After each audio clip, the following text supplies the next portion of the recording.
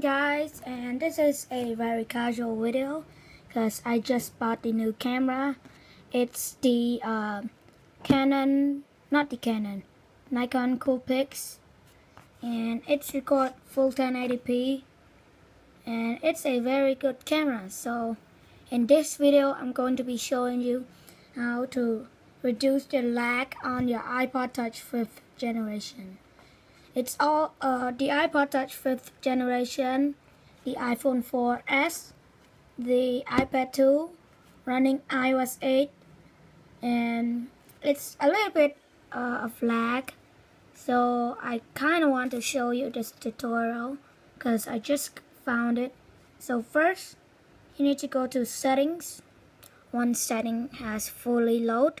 Go to general accessibility not reduce motion, increased contrast, turn on reduce transparency. But first, let me slide up the control center. As you can see, is there's a lag. There's a lag, a lot of lag. So, as always, go to reduce transparency and turn that on. When you slide up, there's no lag at all virtually no lag. Let me turn down the brightness. No lag at all.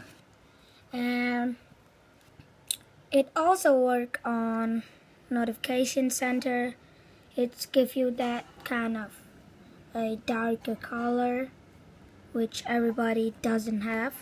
So also if I turn that off and go to accessibility shortcuts not assistive touch turn that on. You when you do that it has a little lag. As you can see there's a lot of lag.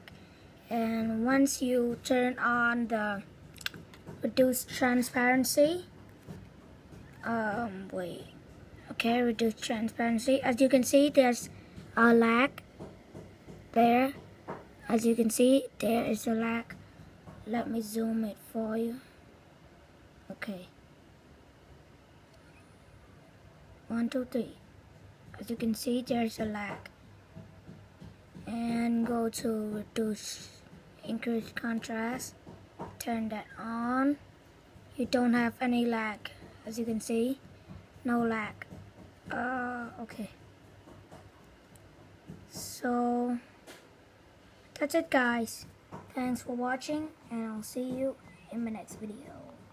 Later